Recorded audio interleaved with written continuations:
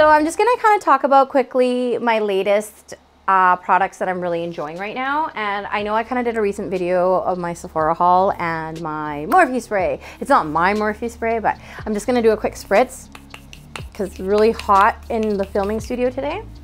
Oh, I just love it. And a lot of you guys actually reached out and said that you guys never used um, a setting spray and I am just floored hearing that because it's just, to me, it's so such an important aspect to doing your makeup. It just sets everything, even if it's like a daily, like, you know, not a heavy glam makeup, it seriously still sets your makeup for the day. So you get to kind of prolong all your products. So which is really, really nice.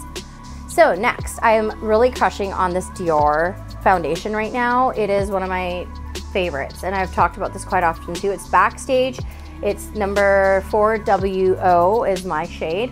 But I mean, sometimes you have to mix shades and stuff depending on your summer color. However, it comes in a lot of different shades. I'm pretty sure it's one of the newer foundations that come in a lot of shades. Not like Fenty Beauty, but similar. And I'm really into my Viseart I think it's called Vizine Viz, Viz, Visa Art. No, sorry, it's called Visa Art. I don't know. I've always said this. I butcher names. I don't freaking know. But I'm obsessed with this brand. It's a little bit more pricey, but um, what I love about it is that it's got the nice matte blendable colors, and they almost kind of like uh, my girlfriend and I were talking about it this morning. Um, they're kind of like they're kind of like butter, and they kind of just melt together, but they don't give you that that crazy um, like just dewy look. It kind of mattifies everything down, but I really love it. And the best thing for an eyeshadow that you really need to look into anyways is blendability.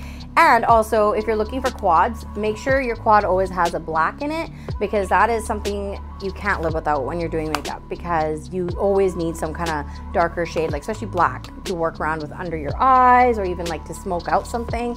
It's always a good thing to have.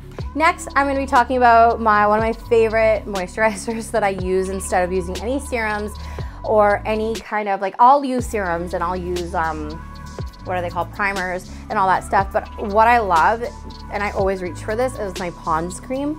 I love it. It's cheap and it works well. It holds all my um, foundation down and it just keeps everything intact for me. So I'm obsessed and this is what I love using. So if you're looking for a cheap, cheap alternative, to not having to use serums or not serums. Serums for your face at nighttime is important, but you know, like you have all the face oils to use as primers and all that stuff.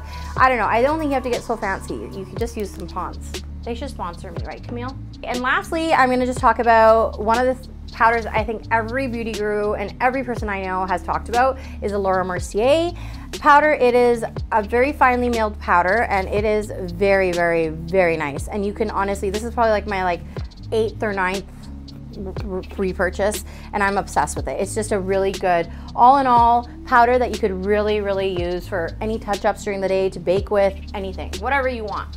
So if you guys haven't subscribed please do so and like and comment on this video and let me know what you guys think.